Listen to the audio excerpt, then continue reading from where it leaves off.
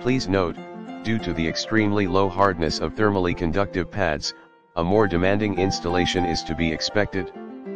Please refer to the user manual MINIMIZATION of thermal resistance, the thinner the pad, the lower the thermal resistance.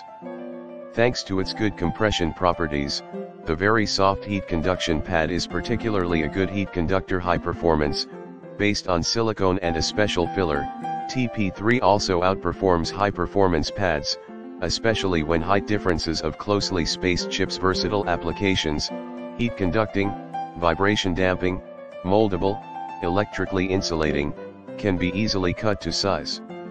Ideal for RAM, chipset, IC and PC, laptop, console, graphic card safe handling, the pad contains no metal particles, is electrically insulating and non-capacitive.